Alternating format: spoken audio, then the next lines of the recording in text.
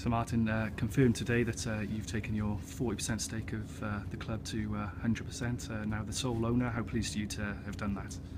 I'm delighted. I uh, came, became involved eight years ago with a, originally a 20% stake, then I bought a, another 20% stake, and then uh, the plan was to actually acquire more of the club, uh, but unfortunately Tom Walkinshaw died around about that time, so uh, nothing really happened for, for a little while. But uh, finally got to, to the position where I was able to buy the Walkinshaws 60% out. So yeah, absolutely delighted to be the owner of the club and uh, take over as chairman and uh, very much look forward to the challenges ahead. Yeah, and you're quite well known as a kind of supporter of the club as well. How, how much does Gloucester mean to you personally?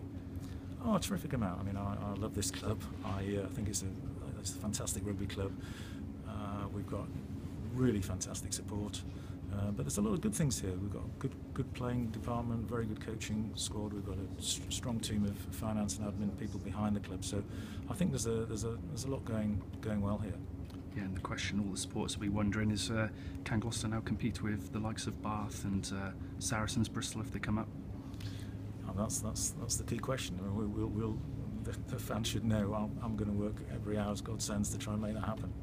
Yeah, and you, you will be spending up to the salary cap each year.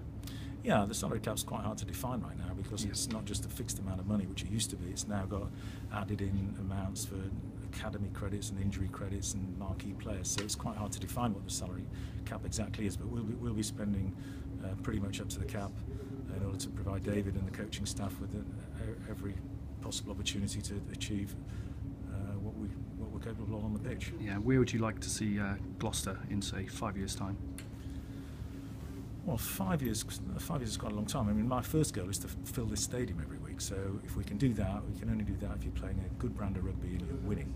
And if we're capable of filling the stadium every week, that gives you the financial wherewithal to redevelop the stadium, build new stands, expand the playing department, bring in the really very best players. So my first goal is to is to is to fill the stadium. And Where that would lead in five years' time um, is is you know we want that to be to manifest itself in, in terms of the success on the pitch. Gloucester's achieved a hell of a lot behind the scenes. We've got a very good stadium, very good training facilities, but we've underperformed on the pitch. We've been ninth in the league three three years out of the last four. We're currently not in the European Champions Cup, and we should be much higher than ninth in the league, and we should absolutely be in the European Champions Cup. So I'm not going to stand here and say we're going to win the European Cup and we're going to win the Aviva, but we want to be absolutely competitive in both of those key competitions.